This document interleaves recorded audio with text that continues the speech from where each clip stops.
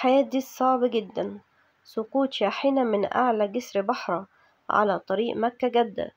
تداول النشطاء على مواقع التواصل الاجتماعي مقطع فيديو. وثق وقوع حادث مروع على طريق مكة جدة اليوم الأحد حيث كسرت شاحنة سياج جسر بحرة وتدلت من الأمام. بعد اصطدامها مع شاحنة أخرى سقطت على الأرض. وأظهر مقطع الفيديو. لحظة تصاعد الدخان من موقع الحادث بعد سقوط إحدى الشاحنتين على الأرض بسبب التصادم الذي تسبب في تحطيم سياج جسر بحرة وكادت أن تسقط الأخرى للأسفل.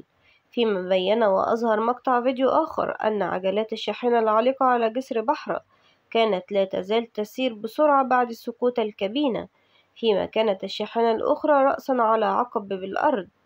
لا حول ولا قوة إلا بالله العلي العظيم. فعلا الحادث كان مؤلم جدا.